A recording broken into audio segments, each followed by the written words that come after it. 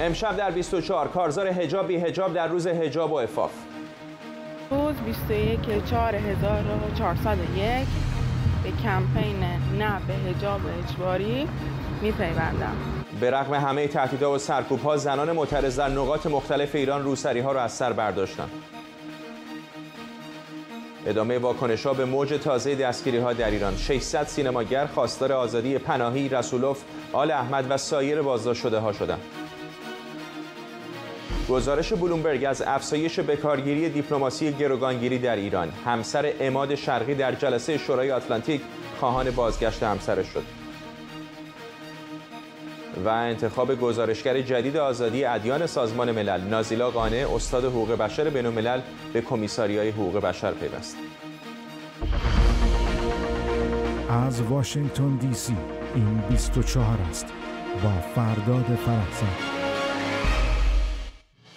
سلام و وقت بخیر. انبوهی از ویدیوهای رسیده به ایران اینترنشنال نشون میده که زنان بسیاری در اعتراض به حجاب اجباری بدون حجاب در خیابانها رانندگی کردن قدم زدن و حتی به محل کارشون رفتن. مقامات حکومتی واکنش های تندی نسبت به اعتراض به حجاب اجباری نشون دادن. سخنگوی نیروهای مسلح ایران مخالفت با حجاب اجباری رو محاربه خونده.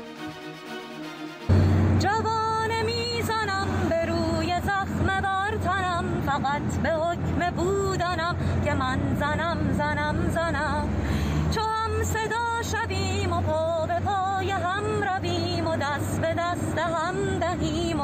ستم رها شویم این حرکت اعتراضی محدود به زنها نبوده و شماری از مردان هم از زنان معترض حمایت کردند. شانه حمایت از خواسته برحق زنان کشورم از کمپین نه به حجاب اجباری حمایت می‌کنم. حاکمیت گمان می بود با بازداشت مادران دادها. ایجاد رو وحشت می کند و زنها را از پیوستن به کمپین نه به حجاب اجباری باز خواهد داشت. زنان و دختران سرزمین شجاع سرزمین امروز اثبات نمودند از خواسته برحق خود کوتاه نخواهند آمد حتی اگر بازداشت شود محمد رضا سباقیان عضو کمیسیون داخلی مجلس هم گفته می‌بینیم در برخی شهرها به گفته او تعدادی از افراد کشف حجاب کردند. همکارم ماهرخ غلام حسین پور از سمت دیگر همین استودیو به ما پیوسته. ماهرخ بیشتر به ما بگو در مورد استقبال از این کارزار حجاب بی حجاب و واکنش های حکومت بهش.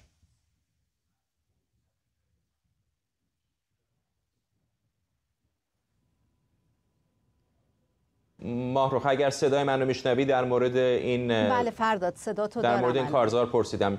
چطور بوده و واکنش ها چطور بود؟ بله فرداد صدا تو دارم یک روز قبل از کارزار ما شاهد بازداشت مادران آبان بودیم. طبیعتا این بازداشت یک پیام داشت. پیامی مبنی بر اینکه شرکت شما می‌تونه در این کارزار هزینه زیادی به همراه داشته باشه.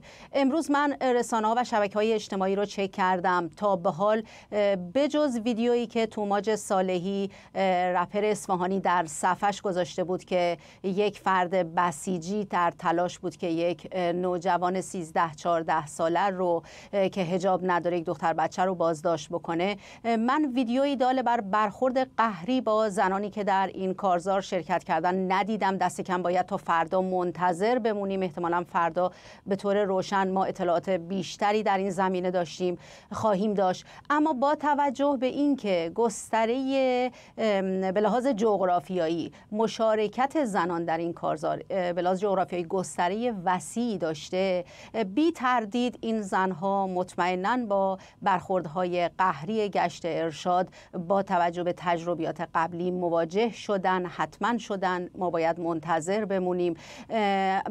با توجه به اینکه روز گذشته هم و امروز هم ما شاهد اظهار نظر تند و تیز مقامات مسئول بودیم. امروز سخنگوی نیروی مسلح آقای ابوالفضل شکارچی خیلی موضع تندی گرفته در این مورد. به یه نوعی گفته که مخالفان حجاب اجباری در واقع دارن با قرآن محاربه می‌کنند با فریزه امر معروف و نهی از منکر مقابله می‌کنن اونها رو به لشکریان شیطان تشبیه کرده و حتی یه تیکه هم پرونده به فیلمسازان و هنرمندانی که به نوعی با این کارزار همدلی کردن و احساس نزدیکی کردن یا به نوعی مشارکت کردن. شاید احتمالا منظور نظرش جعفر پناهی یا دیگر هنرمندانی بوده که در طول چند روز گذشته بازداشت شدن. گفته که اینها از اموال بیت المال ارتزاق می‌کردن و به لشکریان شیطان پیوستن به رغم همه این فشارها و سرکوبها به هر حال مشارکت زنان در هر سطحی در شهرهای مختلف ایران قابل ارزش بوده. ما زنانی رو داشتیم که همونطور ویدیویی برای ما ارسال شده که می‌تونیم ببینیم زنانی داشتیم که به طور دست جمعی در معابر عمومی و پارک ها حضور داشتن بدون هجاب روز 21 تیر 1401 شیرزنان ایرانی در خیابون آزادانه قدم می‌زنند در مبارزه با هجاب اجباری. دوست دارن خودشون هجابشون رو انتخاب کنند. و ما مردان هم حامیشون هستیم. انشالله که این مبارزه به زودی زود به نتیجه برسه و شیرزنان ما پیروز بشن. درود بر شیرزنان ایرانی. ماهرخ این زنانی که تصاویر این چنینی رو به ما و رسانه های دیگه و شبکه های اجتماعی میفرستن و منتشر می‌کنن بالاخره شجاعت قابل توجهی به خرج میدن. چون ممکنه در مثلا شمال تهران خیلی ها هجابشون کم و بیش شاید شبیه به این باشه. ولی اینکه فیلم بگیری و یک عکت سیاسی بخوای انجام بدی و مبارزه بکنی با هجاب اجباری می‌تونه هزینه بر باشه. طبیعتا و مطمئنا هم هست چون به هر حال به لحاظ قانونی هم با توجه به مصوبه 1384 سال 1184 این زنها می‌تونن به راحتی به زندان فرستاده بشن. اما برداشت من این هست با توجه به اینکه این گستره وسیع وسیع بوده این بار در این کارزار و ما ویدیوهای زیادی دریافت کردیم. به یه نوعی میشه گفت که صدای این زنان شنیده شده. ما امروز در سخنرانی داشتیم از محسنی اژه‌ای رئیس قوه قضاییه که دعوت کرده مسئولان رو به صبوری و گفته که ما نمی‌خوایم برخوردهای هیجانی بکنیم و باید در چهارچوب قانون با موضوع حجاب برخورد بکنیم. البته این توضیح رو هم بدم فرداد که الزاما دعوت به عملکرد در چهارچوب قانون به منزله این نیست که اینا می‌خوان گشایش بیشتری ایجاد بکنن برای زنها. ما بارها شاهد این برخوردهای دوگانه از سوی مسئولان بودیم. اونایی که تو موضع بالاتر بودن مدیران سطح پایین تر رو دعوت کردن که در چارچوب قانون عمل بکنن. اما در واقع و در عمل اون چه که در پستوهای گشت ارشاد انجام میشه اون چه که این زنها هنگام بازداشت باهاش مواجه هستن در رده های پایین تر به هیچ وجه در چهارچوب قانون نیست و عملکرد قانونی نیست. یک دادرسی عادلانه یا یک برخورد عادلانه در اینجور موارد باهاشون نمیشه. ولی به هر حال امروز محسنی اژه‌ای توصیه کرده که اگر ما حتی در یک مواردی اشتباهی هم مرتکب شدیم هیچ اشکال نداره که برگردیم و اون اشتباه رو اصلاح کنیم. الزاما منظورش در همون چهارچوب حجاب هست. گرچه من خوشبین نیستم به این اظهار نظرها چون همونطور که بهت گفتم این اظهار نظرها در سطوح بالای مقامات جمهوری اسلامی بارها شنیده شده.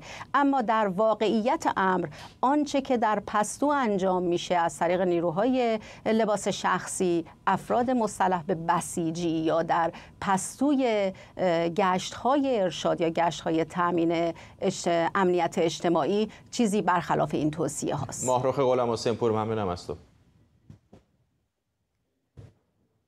همزمان حامیان حجاب اجباری و طرفداران حکومت به بزرگداشت روز حجاب پرداختن در تهران و در ورزشگاه آزادی تجمعی با عنوان مهر فاطمی برگزار شد. سلام اینجا کرمان 21 چار کارزار حجاب بی حجاب مینیبوس مینیبوس آدم آوردن مردم رو به حجاب دعوت کنن هجاب بی هجاب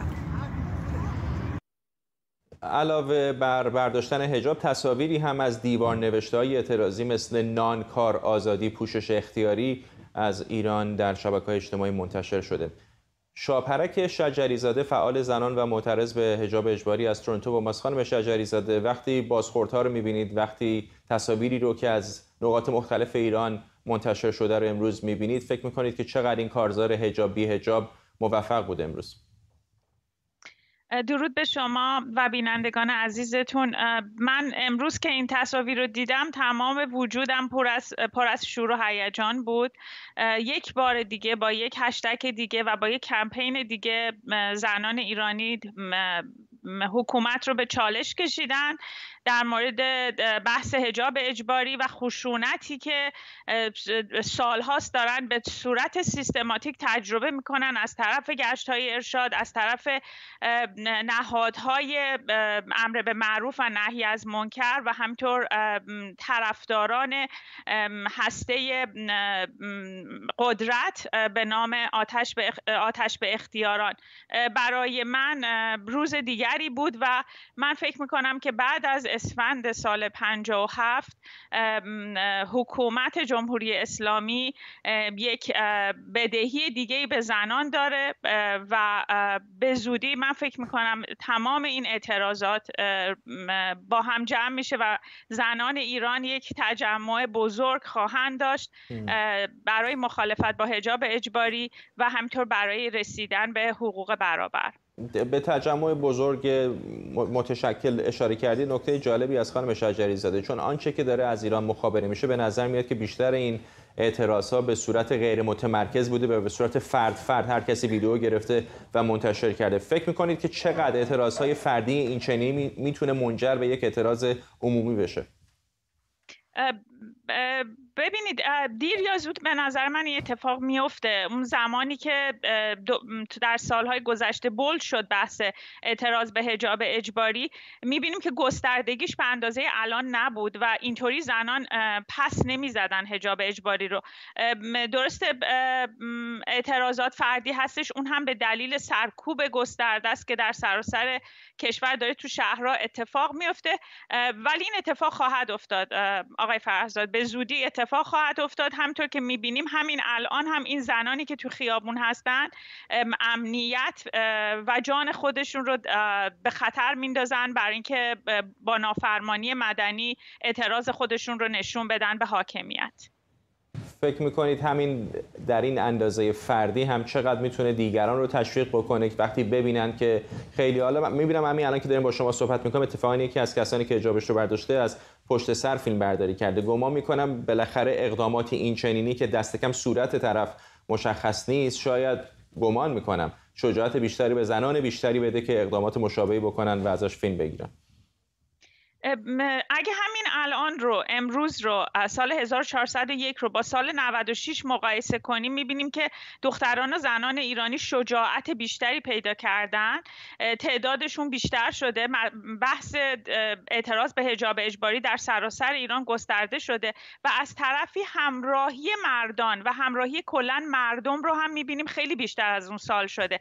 اگر تو سال 96 و 97 زنان در سکوت اطرافیان بازداشت می شدن در خیابان ها و کشونده می شدن تو گشتای ارشاد. الان در خیلی از مواقع می بینیم که مردم می ایستن جلوی خشونت و از زنان دفاع می کنن همین خیلی قدم بزرگیه و فکر می کنم به زنان شجاعت بیشتری میده چون می‌دونن که از حمایت بقیه هموطنانشون هم برخوردار هستند ممنونم از شما شاپرک شجری زاده فعال زنان معترض به اجاب اجباری از تورنتو کانادا با ما.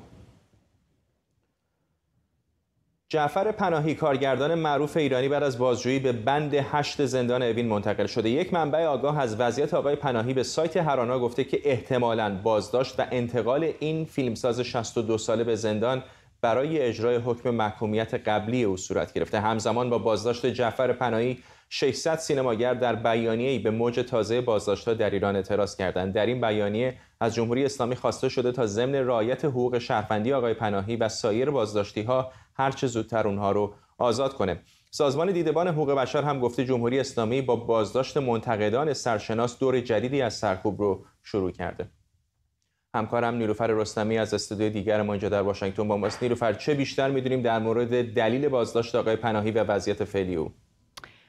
فردا همونطور که تو گفتی جعفر پناهی در واقع روز تولد 62 سالگیش بازداشت شد و الان هم گفته میشه که احتمالا به خاطر حکم 6 سال حبسش که از قدیم بوده از سال 89 بوده. ولی نکته جالب این هستش که خود جعفر پناهی و رسولوف انگاری که سرنوشت بازداشتاشون یه جوری به هم گره خورده. در سال 89 هم هر دوی اونها داشتن روی فیلمی در مورد اتفاقات ریاست جمهوری 88 حوادث بعد از اون کار می‌کردن که هر دو بازداشت شدن و الان هم هر دو در زندان اوین هستن. ظاهرا این در واقع نظام جمهوری اسلامی دیگه اعتنایی به فشارهای بین المللی نگاه بین المللی نداره به دلیل اینکه این هر دو نه تنها در خود داخل ایران چهره شناخته شده سینمایی هستن بلکه چهره های شناخته شده سینمای بین الملل هم هستن و بارها در جشنواره های مختلف شرکت کردن. بلافاصله پس از بازداشت اینها سه جشنواره حداقل اول برلین و بعد کن و بعد ونیز در بیانی های جداگانه بازداشت اونها رو محکوم کردن. جشنواره برلین در بیانیش گفته که از خبر شنیدن بازداشت اینها در واقع وحشت زده شده. ظاهرا که همونطوری که در دهه 60 آدم ها رو در خیابون ها میکشتن. احتمالا علی خامنه ای دلش می‌خواد که تصمیم داره که دوباره به همون روزها به یک نحو دیگه ای برگرده و من می‌خوام اینجا بگم که مصطفی آل احمدم که کمتر شناخته شده است و کمتر راجبش حداقل حرف زده میشه فیلمسازی هستش که روی فیلم های کوتاه و انیمیشنش معروف هستش و بسیاری از این فیلم ها رو حتی توی جشنواره های مختلف خارجی از جمله مونترال کانادا به نمایش درآورده و جایزه گرفته.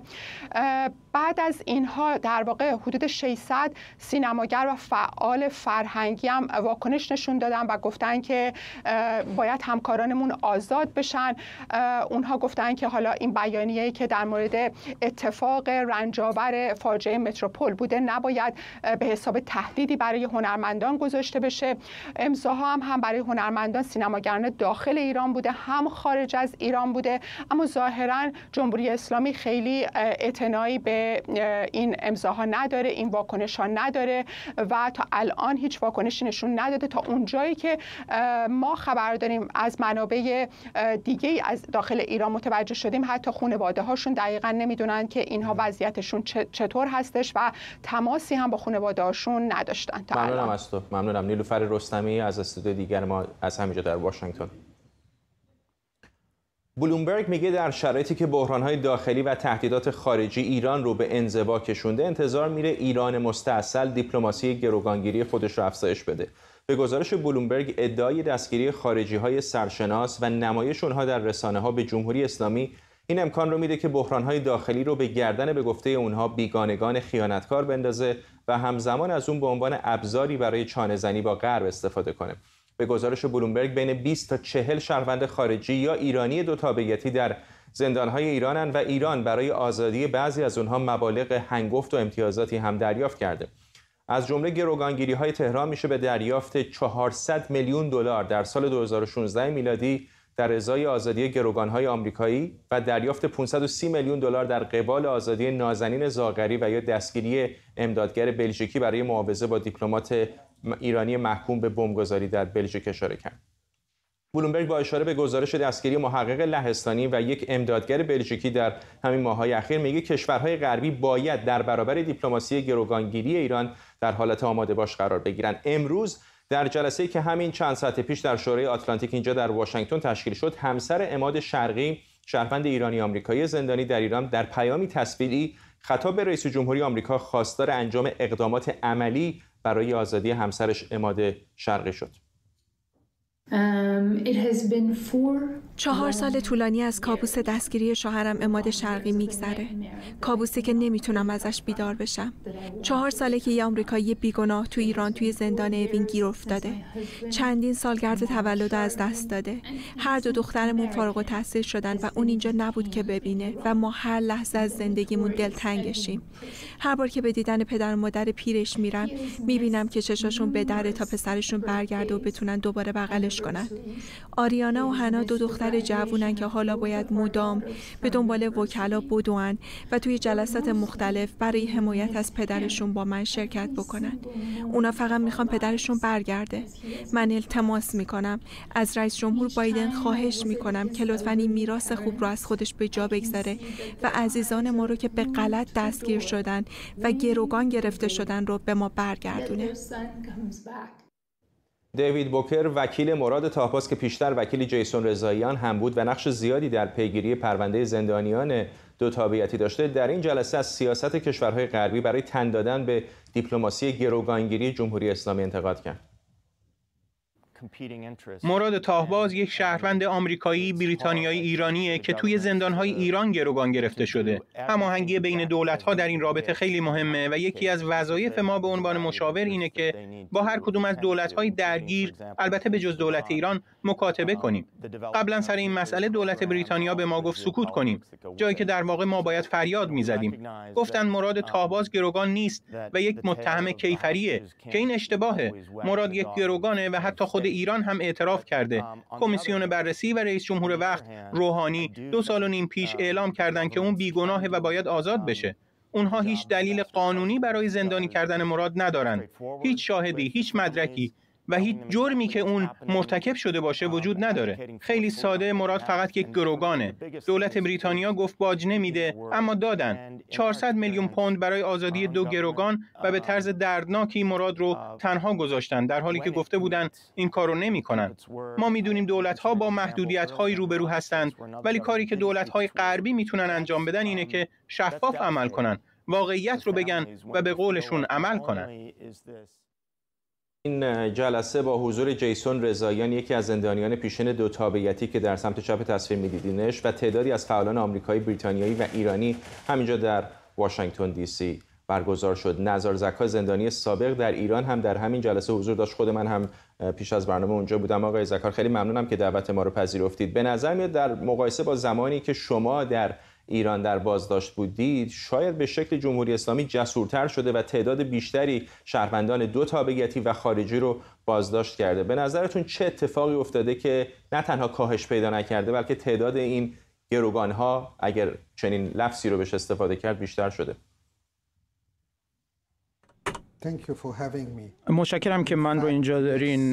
در واقع بله درست این نظام این سیستم برای ایران خیلی منفعت به بار آورده. هر موقع که یک کسی رو گروگان می‌گیره و در واقع و غربی ها کنار میان با ایرانی ها سر این مسئله. اینها یک منافعی رو به سپاه پاسداران می‌رسه و منافع زیادی رو به جمهوری اسلامی میرسونه این مسئله.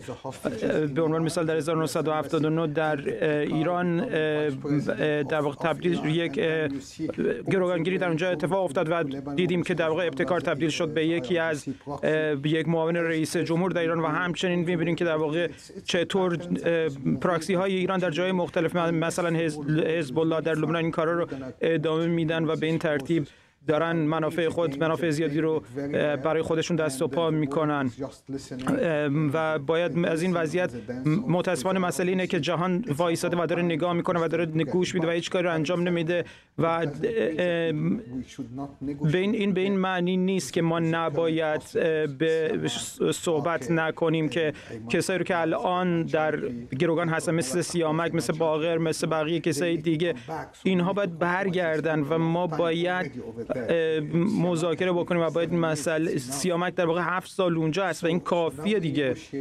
با ما باید این صحبت ها رو انجام بدیم که در واقع این رو پایان بدیم به این مسئله. باید یه استراتژی خیلی قوی به اینجا بذاریم و متوجه کنیم جمهوری اسلامی رو که این مسئله رو باید متوقف بکنه. باید متوقف کنیم این روند قبلی رو فرد به فرد نباید جلو بریم بلکه باید در واقع استراتژی قوی رو اونجا بذاریم. کسایی رو که در واقع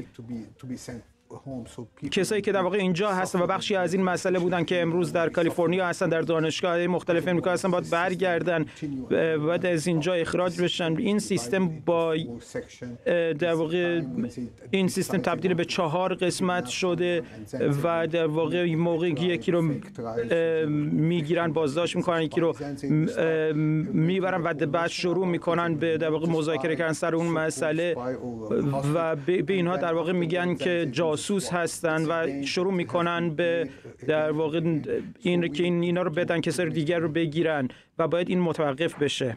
آقای زکا یک چیزی که به نظر می اومد وچه مشترک حرفای امروز در این جلسه شورای آتلانتیک بود به خصوص از سمت وکلا و کسانی مثل خود شما جیسون رضاییان و دیگرانی که در ایران در زندان بودید این هست که به نظر میاد بسیاری از دولت‌های غربی حتی دولت‌هایی که روابط خوبی با ایران ندارن مثل بریتانیا و آمریکا درک درستی ندارن. در بسیاری از مواقع به نظر میاد که این بازداشت ها رو ممکنه به عنوان یک پرونده کیفری بهش نگاه بکنن تا یک پرونده گروگانگیری.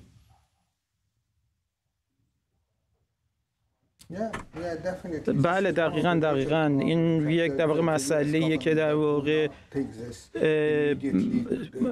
دولت امریکا این رو خیلی جدی نمی‌گیره و به صورت جدی این مسئله رو مورد خطاب قرار نمیده و به این رو متوقف نمی‌کنه این وضعیت رو. این رژیم این واقعیت که رژیم جمهوری اسلامی داره این مسئله رو ادامه میده و داره رد می‌کنه که همچین کاری داره. در واقع اینها گروگان هستن داره کمک می‌کنه به این مسئله که بتونه این مسئله از این از زیر این مسئله در بره و غربی ها هم دارن مسئله به این مسئله به این شکل نگاه می‌کنن. موقعی که شما این مسئله رو یک استراتژی قوی براش نداشته باشین مقابلش وای این مسئله ادامه خواهد پیدا کرد و میره به سمت ونزوئلا سوریه رشد می‌کنه و جاهای دیگه ای رو که در واقع سپاه پاسداران فعال هست اونجا هم ادامه پیدا می‌کنه و باعث میشه که اونجاها هم کسای دیگه ای رو بگیرن و برو باید و بر استفاده بکنن. برای اینکه در واقع با کسای دیگه ای مبادله بکنن. چرا باید این رو متوقف کنن؟ اونا دارن ازشون نفع می‌برن و کسی هم در این در, در این زمینه در واقع تنبیه نشده و دارن ازش نفع می‌برن ازش سود می‌برن. دولت امریکا برای سالها یک نفر رو در این زمینه بازداشت نکرده که که اینها در واقع مشارکت داشتن در گروگانگیری. اینها دارن گروگانگیری رو ادامه میدن و دارن ازش نفع می‌برن بدون اینکه کسی در مقابلشون وایسه. اینها در واقع تونستن در دولت خودشون هم بتونن بالا برن و تایید دولت امریکا رو پشت سرش خوندشون داشتن. من با تایید رفتم اونجا و در واقع اونجا من رو بازداشت کردن و من برای یک کنفرانس اونجا حضور داشتم. و اونجا در واقع میان اونجا اومدن اونجا من بازداشت کردن به عنوان گروگان و من به من مهر جاسوسی زدن و من گفتن که جاسوسم بعد دو نفر اومدن یکی پلیس خوبه یکی پلیس پلیس بده. شروع کردن به بحث کردن. کسی مثل سیامک اونجاست داره سالهاست اونجاست داره و در واقع زن رنج می‌بره از این مسئله و کسای زیادی دارن رنج می‌برن. باید این متوقف بشه. یه نکته مهم این هست که هر روز ده ها پرواز از نقاط مختلف دنیا از پایتخت‌های اروپایی و کشورهای منطقه به ایران میرن. بسیار از شهروندان خارجی و دو تابعیتی میرن و در اکثر موارد هم بدون مشکل بیرون میان. اما واقعیتش اینه که هیچ تضمینی وجود نداره که نفر بعدی نظارزک بعدی یک شهروند دیگر نباشه. ممکن این اتفاق برای هر کسی بیفته. شما به عنوان کسی که موردتون اتفاقا مورد استثنایی و جالبی هست به دعوت خود دولت ایران رفتید به ایران. یعنی نه دو تابعیتی ایرانی بودید که بخواید برید خانوادهتون رو ببینید نه برای مسئله گردشگری رفتید به دعوت خود دولت ایران رفتید و آدم گمان می‌کنه وقتی یک دولت مستقری کسی رو دعوت می‌کنه دیگه حداقل امنیتش رو حفظ می‌کنه. پیام شما به کسانی که به ایران میرن و این نگرانی رو دارن که آیا بریم یا نریم. به عنوان کسی که دعوت شده بودید چه هست چقدر این ریسک وجود داره که این اتفاق ممکنه برای هر کسی بیفته؟ این خیلی اهمیت داره که همه ایرانی ها این رو به متوجه بشن. اینا لازم دارن که برگردن می‌دونم. اما باید متوجه باشن که این رژیم هیچ حدی رو نمی‌شناسه. اگه شما اصلا گوگل کنین هیچ دولتی تا الان کسی رو, رو نرو بوده و به عنوان به عنوان در واقع گروگان ازش استفاده نکرده. این واقعا دیوانه کننده است. هیچ مسئله دیگه در این چنین اتفاق نیفتاد یه کسی رو دعوت می‌کنن اونجا و بعد اینا بازداشت می‌کنن و من میگم که من باید آزاد بشم و بعد چهار سال اونجا در واقع آدم زندگیشو تلف می‌کنه. اگه یه همچین چیزی برای من اتفاق افتاده پس در واقع اونها هر کسی رو امکان داره که بگیرن و برای سالها و سالها اونجا نگه دارن. اگر کسایی که در واقع خانواده های اونجا دارن من می‌دونم که در واقع ممکنه خانواده ها در این زمینه ساکت بمونن برای اینکه مثلا رژیم به هر حال یه بشه یه کاری براش بند. ولی من باید بهتون میگم که اگر کسی می‌خواد بره اونجا با ایران با پاسپورت ایرانیتون نرین با پاسپورت آمریکاییتون برین با پاسپورت خارجیتون برین ویزا بگیرین. موقعی که شما با یکی از پاسپورت های خارجی میرون اونها در واقع به عنوان یک خارجی با شما برخورد می‌کنن و در واقع اینها سفارت دارن این کشورها و اینها این کشورها باید با شما به عنوان یک شهروند خودشون رفتار می‌کنن. این سفارت خانه ها اونجا. به همین دلیل در واقع اگر ویزا بهتون ندادن اگر دولت ایران ویزا بهتون نداد رو پاسپورت خارجیتون حتما نرین. ولی اگه با ویزا برین دولت های خارجی ناچار خواهند بود که کاری براتون انجام بدن. من نمی‌دونم که در واقع من نمی‌تونم باور کنم که سیامک اون هنوز اونجاست. ما با هم رفتیم و من 2019 در واقع من رو فرستادن. ولی اون هنوز اونجاست. این در واقع مجرمانه است این برا فراتر از مجرمانه است این حرکتی که اونها انجام دادن اونها معلوم نیست که اینا می‌خوان مثلا در واقع می‌خوان با کی عوضش تبادلش کنن. این مسئله خیلی از مجرمانه بالاتر. این این کار انسان دوستانه نیست. این کار انسانی نیست. این فراتر از و در واقع کسایی که رفتن اونجا کسایی اینهایی که اینجا هستن در واقع خیلی زندگیشون رو بدر دادن و دولت باید بتونه که برای این هزینه بده. ممنونم از شما نظر زکا زندانی سابق در ایران. اینم اشاره بکنم که البته میگید با گذرنامه خارجی برن مواردی بوده مثل همین اولیوی وانده کاستل شهروند بلژیکی که اصلا ایرانی تبار هم نبوده رفته و الان در بازداشت است. ممنونم از شما آقای زکات تشکر که دعوت ما رو پذیرفتید. چند روزی هست که نازیلا قانه استاد حقوق بشر بین الملل در دانشگاه آکسفورد لندن به عنوان گزارشگر ویژه آزادی ادیان و عقیده در کمیساریای حقوق بشر سازمان ملل متحد منصوب شده. گزارشگر ویژه آزادی ادیان و عقیده تلاش می‌کنه تا موانعی که برای آزادی مذهب و عقیده در جهان وجود داره رو پیدا کنه و توصیه هایی برای غلبه بر این موانع ارائه کنه. البته به دلیل وضعیت حقوق بشر در جمهوری اسلامی سالهاست که گزارشگر ویژه‌ای برای ایران منصوب شده اما از اونجا که جمهوری اسلامی متهمه که به صورت ساختاری آزادی ادیان رو نقض می‌کنه این وضعیت به حوزه کار گزارشگر ویژه آزادی ادیان و عقیده هم می‌تونه مرتبط بشه.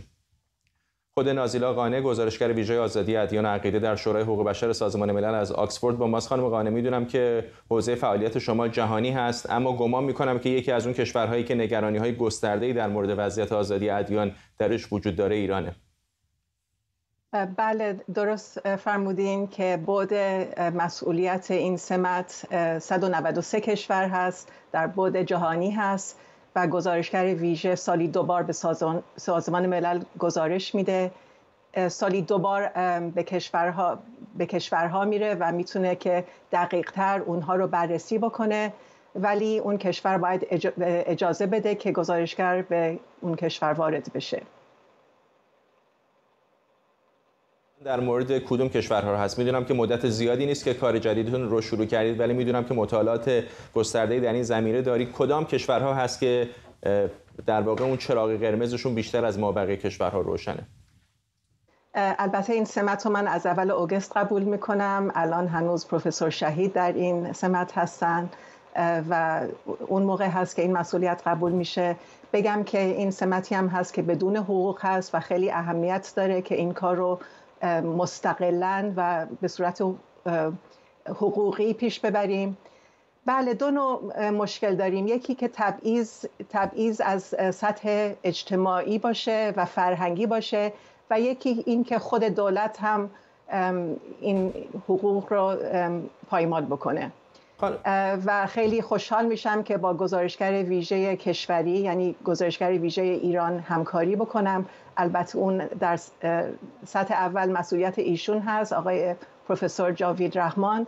ولی اگر همکاری بشه خوشحال میشن که باشون همکاری بکنن خانم قانه چقدر ابزار قانونی از منظر سازمان ملل در دست شما هست که فشار بیارید به دولت هایی که دارن آزادی ادیان رو نقض می‌کنن؟ یا فقط صرفا می‌تونید گزارش بدید؟ در, در اصل همون خود گزارش امیدوار هستیم که تا مقداری کشورها رو تحت فشار قرار بگیره و اینکه مشکلاتشون در گزارش پیاده میشه و مطرح میشه خودش یک تأثیری داشته باشه. از شما نازیلا قانه گزارشگر ویژه آزادی ادیان عقیده در شورای حقوق بشر سازمان ملل از آکسفورد بریتانیا با ما. یک مقام ارشد دولت اسرائیل گفته انتظار میره در جریان سفر بایدن به منطقه تحولات ملموسی در رابطه نوپای اسرائیل و عربستان شروع بشه. روزنامه تایمز آف اسرائیل به نقل از یک مقام ارشد اسرائیلی گفته در جریان سفر بایدن به منطقه تحولاتی مهم در روابط اسرائیل و عربستان سعودی رخ میده و سفر بایدن فرایند عادی سازی روابط میان این دو کشور رو کلید می‌زنه. سفر منطقه جو بایدن از امروز با بازدید از اسرائیل و کرانه باختری رود اردن شروع میشه. در این سفر برای اولین بار رئیس جمهوری آمریکا با پرواز مستقیم از تل به جده میره. سمیرا قرایی از مقابل وزارت خارجه آمریکا و آرش علایی که در این سفر همراه رئیس جمهوری آمریکا از اورشلیم با ماست با آرش شروع می‌کنم. آرش چه می‌دونیم در مورد این سفر؟ حرف و حدیث در موردش زیاده اما چه چیزی احتمالا در این سفر دست دولت بایدن رو خواهد گرفت؟ ببین اول راجع به گزارشی که شما در تایمز آف اسرائیل بهش اشاره کردی من بگم که وال استریت جورنال هم یه مقاله نوشته بودن یک ساعت پیش و راجع به این حرف زده که دولت بایدن و کاخ سفید مایل هست که روابط امنیتی و نظامی اعراب و اسرائیل که الان در پشت پرده هست بیاد و عیان بشه و کاخ سفید معتقد است که عیان شدن این ارتباطاتی که همین الان هم وجود داره باعث میشه که نیروی بازدارندگی بر علیه جمهوری اسلامی وجود بیاره. در مقاله وال جورنال اشاره شده به اینکه مثلا اسرائیلی ها الان دارن با بحرینی ها در زمینه دریایی یه سری کارهایی انجام میدن و یه سری همکاریایی دارن. و اینکه این درها باز خواهد شد برای کشورهای دیگر. اسم کشورهایی مثل مراکش و حتی سومالی هم آورده شده برای اینکه بخوان روابط خودشون عادی کنن با اسرائیل. و احتمالا این چیزی هم که تایمز آف اسرائیل داره بهش اشاره می‌کنه همین مطلب هست. از نظر کاخ سفید اینکه رئیس جمهوری آمریکا الان بعد از 18 ماه پس از تصدی در کاخ سفید سفر می‌کنه به منطقه خودش یک فرصت جدیدی به حساب میاد. اون چیزی که در واقع مطبوعات آمریکایی دارن می‌گوین اکثر همکاران من هم که از شبکه های دیگر آمریکایی اومدن و دارن این سفر رو گزارش میدن تمرکزشون به بر روی بحث عادی سازی روابط اسرائیل و کشورهای عربی و همچنین فشار آوردن احتمالی کاخ سفید به عربستان سعودی برای بالا بردن سطح تولید نفت هست. اما غیر از اون هم خبرهای دیگری هم که ما داریم میشنویم در این زمینه در این سفری که آقای بایدن داره انجام میده برای اولین بار در مقام ریاست جمهوری این است که کاخ سفید می‌خواهد که از امکاناتی که اسرائیلی ها دارند استفاده کنه نشریه دهیل مقاله ای زده به نقل از بنیگنس وزیر دفاع اسرائیل و راجب یک مانور نظامی بسیار گسترده ای که حدودا چند روز پیش در اسرائیل انجام شده. اون چیزی که دهیل نوشته با حضور صدها فروند جنگنده های نظامی پهپادها گروه اسپشل فورس که به اسم نیروی ویژه یا کماندوها از اونها نام برده میشه برای اینکه بخوان شبیه سازی کنن یک حمله نظامی رو به جمهوری اسلامی. سمیرا آرش اشاره کرد به خواستایی که احتمالا دولت بایدن از به خصوص عربستان سعودی خواهد داشت در مورد اسرائیل در مورد بحث انرژی. اما خود عربستان سعودی و اسرائیل هم بدون شک خواستای مهمی از دولت آمریکا دارن که حتما یکی از اونها مربوط به ایران هست. فرداد خواستای عربستان سعودی در ماهای اخیر با سفری که خالد بن سلمان برادر محمد بن سلمان به واشنگتن داشت بالا گرفت. جزئیاتی از اون چیزی که خالد بن سلمان از کاخ سفید خواسته بود چندین ماه پیش به مرور بیرون اومد در رابطه با ایران بود. از بایدن خواسته بود یک استراتژی روشنی در رابطه با ایران ارائه بده. اگر که توافقی در کار نباشه و بعدتر از اون باز هم اعلام شد در رابطه با فروش تسلیحات تهاجمی که خبرش رو داشتیم اون هم زمینش در سفر خالد بن سلمان به واشنگتن چیده شده بود. خواسته های عربستان سعودی از آمریکا داره اهرام فشار داره در رابطه با آمریکا. اهرام فشاری که داره بحث نفت هست. همون چیزی هست که اینجا رسانه ها در آمریکا ازش یاد می‌کنن به عنوان انگیزه اصلی بایدن برای اینکه این سفر رو آغاز بکنه. بحث حمله روسیه به اوکراین و گران شدن بنزین اینجا در خانه افزایش بهای نفت و همه اینها به بحران انرژی رو رسانه ها اینجا یک انگیزه می‌دونن. برای بایدنی که 18 ماه صبر کرد تا دست به این سفر بزنه بایدنی که علاقه نداشت در رابطه با خاورمیانه یک سیاست روشن اتخاذ بکنه. و حال عربستان سعودی می‌دونه که می‌تونه از نفت به عنوان اهرام فشار استفاده بکنه. می‌تونه 2.5 میلیون بشکه در روز بیشتر از اون چیزی که در حال حاضر داره تولید می‌کنه روانه بازار بکنه. با این همه اون چیزی که به عنوان مثال پلیتیکو امروز عنوان کرده در رابطه با سه موضوع مشخصه که عمومی خواهد شد. از جمله در رابطه با مسئله آمریکا و فلسطین دادن 100 میلیون دلار به فلسطین برای امر بیمارستان سازی این یکی از تفاهم نامه هایی است که در این سفر امضا خواهد شد. دیگری بحث باز کردن حریم هوایی عربستان سعودی به روی هواپیماهای مسافربری اسرائیل هست که حدس زده میشه. این یکی از همون مسائلی باشه که اشاره کردی به گزارش تایمز آف اسرائیل که این یکی از همون قدم های اول عادیسازی و عادیسازی روابط میان ایران و تصحیح کنم عربستان سعودی و اسرائیل باشه و دیگری بحث همین ائتلاف پدافند هوایی هست که در هفته های اخیر بسیار زیاد راجع شنیدیم. این رو به رغم اینکه کشوری مثل امارات یا عراق مقام های رسمیش اومدن چند روز پیش به رویترز گفتن که به ما کسی به شکل رسمی نگفته که قرار راجع به پدافند هوایی صحبت بشه. با این همه به نظر مثل این مسئله عمومی خواهد شد. اما اینکه اسرائیل و عربستان سعودی بخوان روابطشون رو به شکل عمومی گرم بکنن یا اون شگفتی که ما در پیمان ابراهیم شاهدش بودیم امارات و بحرین در یک اقدام قافلگیر کننده روابط خودشون رو با اسرائیل عادی سازی کردن این بحث در رابطه با اسرائیل و عربستان سعودی نخواهد بود و اون چیزی که رسانه های آمریکایی ازش به عنوان دراما یاد می‌کنن فردا دیدار بن سلمان محمد بن سلمان و بایدن هست که روز جمعه یا شنبه خیلی ها منتظرش هستن به این به خاطر روی کردی است که بایدن نسبت به بن سلمان داشته در پی قتل جمال خاشقچی. سفری تاریخی و مهم هست با حواشی و جنجال های زیاد. در روزهای پیش رو این رو پوشش خواهیم داد. با جزئیات بیشتر آرش علایی با تیم رئیس جمهوری آمریکا در سفر منطقه به خاورمیانه ما رو همراهی خواهد کرد. ممنونم از آرش علایی در اورشلیم و همینطور از سمیرا قرایی اینجا در واشنگتن از مقر وزارت خارجه آمریکا. برنامه 24 رو همینجا به پایان می‌بریم. ممنون از همراهی شما با این برنامه. برنامه رو با تصاویر زنده از شارلوت در کارولینای جنوبی به پایان می‌بریم.